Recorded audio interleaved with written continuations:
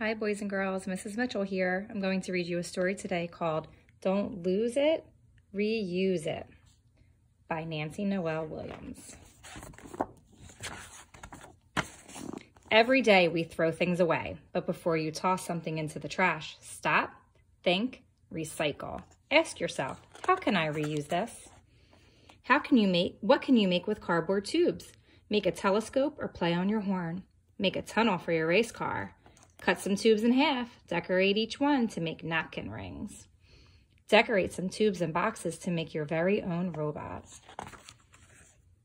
What can you do with old buttons and beads? String beads together to hang in your room. See how long you can make them string. Gather some pine cones, glue colorful buttons on them to make decorations. What can you do with big and small boxes? Put a gift in a box. You can decorate some paper, then wrap up the box. Or you can make a tower by piling the boxes up. What can you do with really big boxes? Cut out windows and make your own playhouse.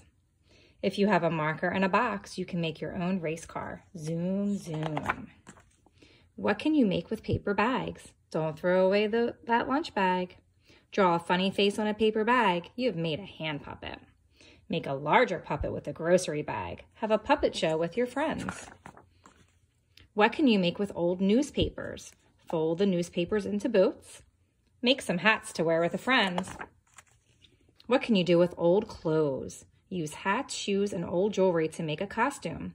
Change your voice and, and your name. Become a new character. Grab some kitchen things and have a parade. An old shirt makes a great paint smock. What can you do with sticks and sponges? Make your own group of wacky stick peeper, people. Make a painting with sponges. What can you make with empty bottles and cans? Wash out a bottle, cut an opening like an open door on its side. Put bird seeds inside, hang the bottle in a tree and watch the birds eat. Fill cans with dirt and plant flower or vegetable seeds. Water the seeds and watch them grow. Keep your pencils organized in an empty can. What can you make with socks? Find some buttons and thread for eyes. Sew some yarn on for hair. You have made a sock puppet. Write a story and act it out. Don't lose your chance to make something new the next time you pick up some trash. Take a good look, then remember, don't lose it, reuse it. The end.